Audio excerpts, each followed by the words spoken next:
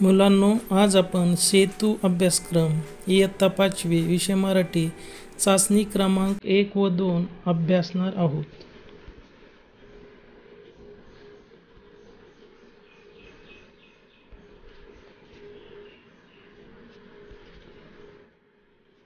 प्रश्न पहिला गटात न बसणारी आकृती ओळखा व त्यावर बरोबर अशी खूण करा.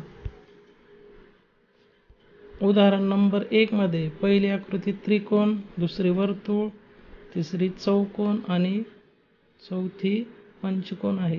तर यापैकी दुसरी आकृती वर्तुळाची असल्याने वेगळी आहे.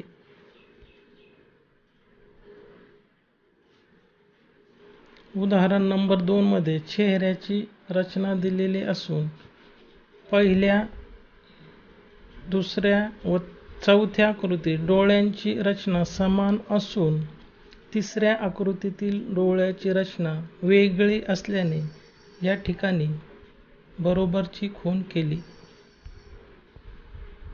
उदाहरण क्रमांक तीनमध्ये आतील आणि बाहेरील आकृतीचे निरीक्षण करायचे. यामध्ये पहिली दुसरी व तिसरी या आकृत्या आतील आणि बाहेरील समान आहेत.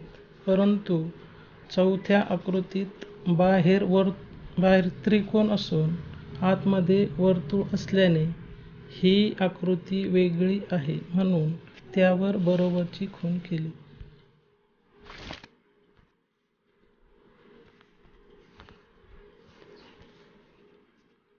प्रश्न क्रमांक दोन. कोण ते लिहा? क्रमांक एक. टपटप पडणाऱ्या गारा.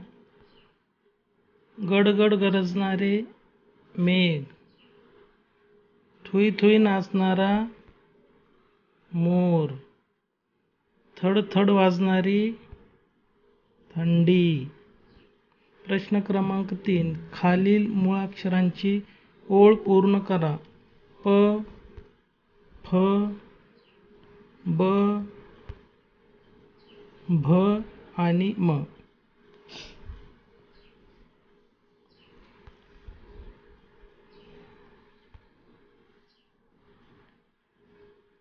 सेतू अभ्यासक्रम चाचणी क्रमांक दोन. प्रश्न पहिला चित्राच्या ठिकाणी शब्द लिहून तयार झालेला नवीन शब्द पुन्हा लिहा.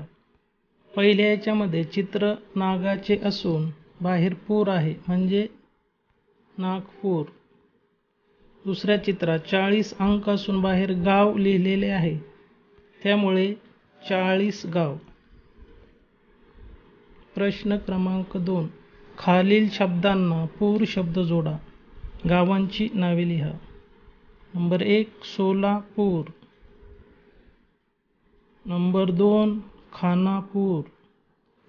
नंबर तीन विजापूर. नंबर चार राजापूर.